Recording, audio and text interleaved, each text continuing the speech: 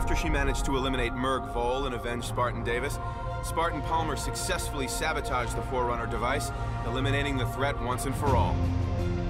Good work, Spartan. You completed the full cycle of Draetheus 5 battle records. That's it. History lesson over. Now get out of here and go train in the war games with the other Spartans. I'll see you around.